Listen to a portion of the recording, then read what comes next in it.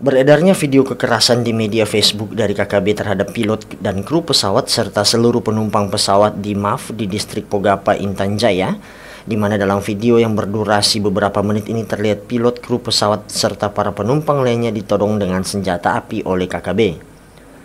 Dengan hal tersebut, Kabit Humas Polda Papua Kombes Pol Ahmad Mustafa Kamal menjelaskan bahwa peredaran video ini adalah salah satu bentuk teror dari KKB terhadap warga masyarakat di Kabupaten Intan Jaya bahwa empat hari terakhir beredar juga ada video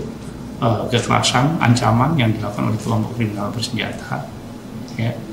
uh, dia minta uang sejumlah uang, kemudian dia mengancam kepada pilot, ya pilot katanya kamu sering mengantarkan TNI Polri ke sini dan sebagainya. Ini bentuk-bentuk uh, teror yang dilakukan oleh kriminal uh, kelompok kriminal bersenjata terhadap warga masyarakat ya kita sudah kita sayangkan sehingga apa pun uh,